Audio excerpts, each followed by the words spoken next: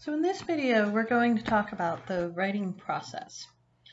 So we're going to look at some models and some different processes that people So this is the most common conventional model of the writing process.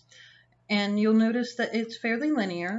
And you've probably seen something like this before. You may have seen it in a different illustration or with different words, but it will probably seem kind of familiar. So we conventionally talk about it starting with invention. That is, this is the phase where you come up with what you want to say. I'm using the word invention because although brainstorming and pre-writing are often used synonymously, they have specific meanings that I'm avoiding here. So brainstorming refers to a specific process of just throwing ideas out and, you know, jotting whatever comes to your mind down, uh, whereas invention can take place in a lot of different methods. And I'm also avoiding pre-writing because as we'll talk about later, it doesn't always happen before the writing. And then conventionally we say after you've done your invention, you go on to drafting, which is where you actually do the writing. And it's okay to write badly at this point because it's, it's only a draft, right? Um, so this is the point where you generate text.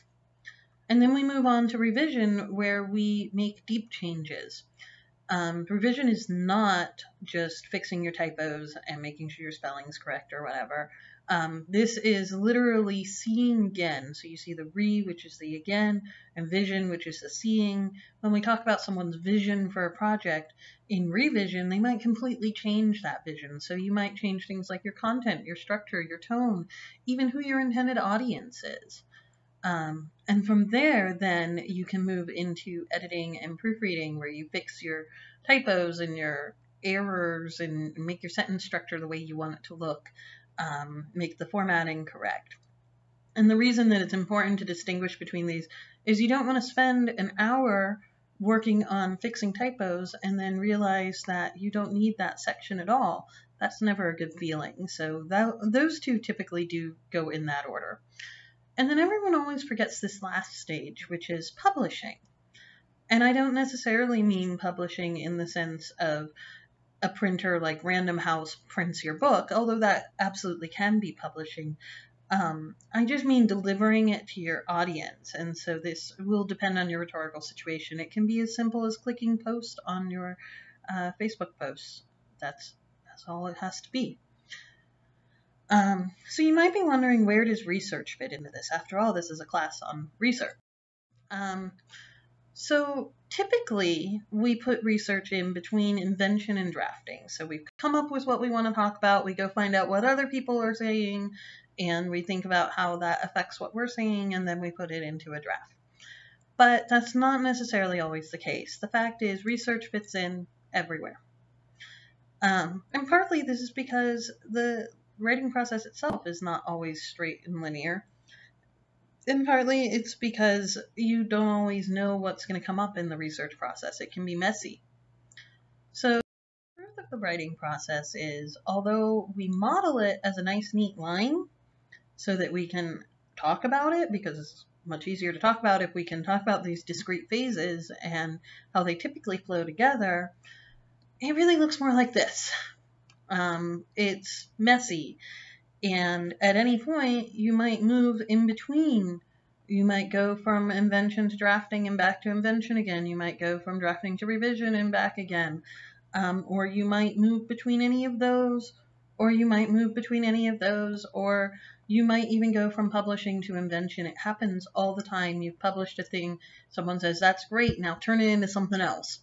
So you can enter the writing process at any point.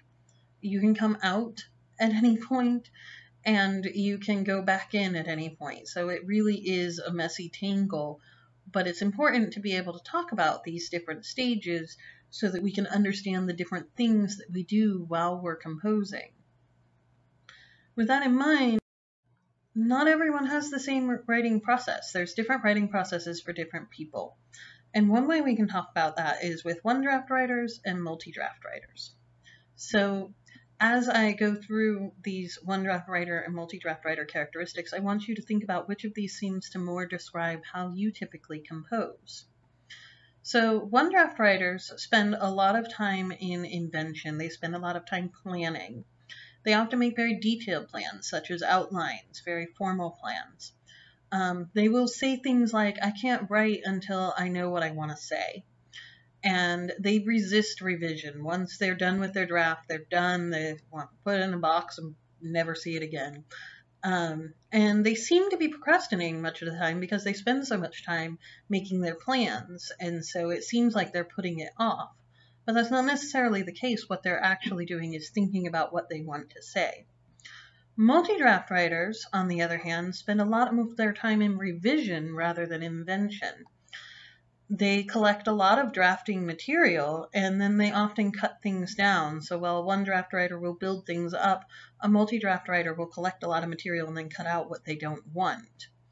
And they'll say things like, I don't know what I want to say until I've said it.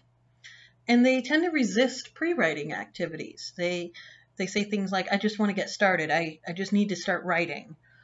And they may seem to take longer because they often start sooner by drafting sooner, but that's not necessarily the case. They, they're just taking a different path to the same goal.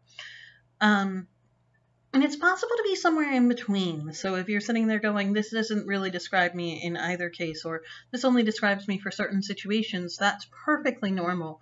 Just like modeling the writing process, the reality is a lot messier, and this is just a tool we use to talk about it. For instance, when I'm writing academic papers, I'm very much a one draft writer. I hate revising papers. You ask me to revise a paper, and it will probably take a year. Um, but I spend a lot of time in invention. I will make detailed outlines that if you get your hands on my outline, you've basically got your hands on my first draft. Um, so you you see a lot more planning in that, and it's very much a one draft thing.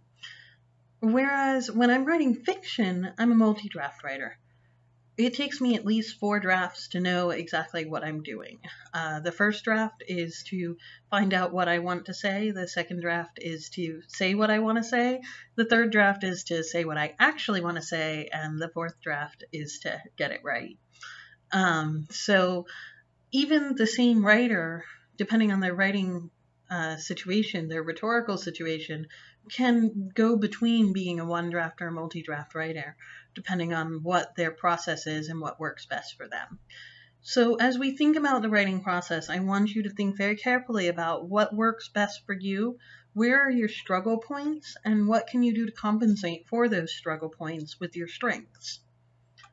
Okay, that's it.